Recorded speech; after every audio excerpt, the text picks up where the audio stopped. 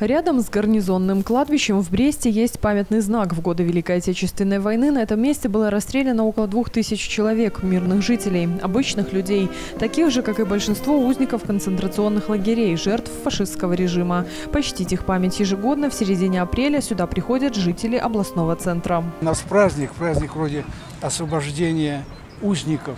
А для нас это, вы знаете, вот после этого я лично не могу, ночь точно я спать не буду. Потому что вот это все в памяти, все это, когда на твоих глазах расстреливают твоих родных, близких, уничтожают их, такое не забывается. Вот мне было там два-три года, и я помню, помню, как нас гнали на расстрел. Помню, как расстреливали, как эта земля, когда засыпали, земля вот шевелятся, живые люди. Это ужасно. В числе участников мероприятия много молодежи, и это очень важно – сохранять память, рассказывать о том, что было. Все меньше остается очевидцев страшных событий. Тем ценнее каждая такая встреча, тем важнее каждое слово. Молодому поколению надо знать правду о войне. Правду о войне надо знать. И вы знаете, они, они интересуются этим и просят, чтобы мы им рассказывали.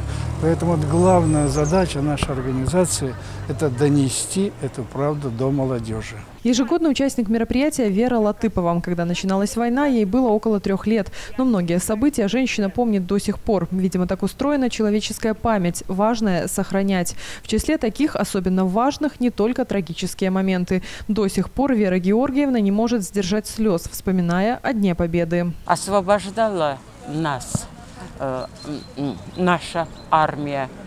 Мама и сестер моих не было тогда дома а мы были, были с Толей.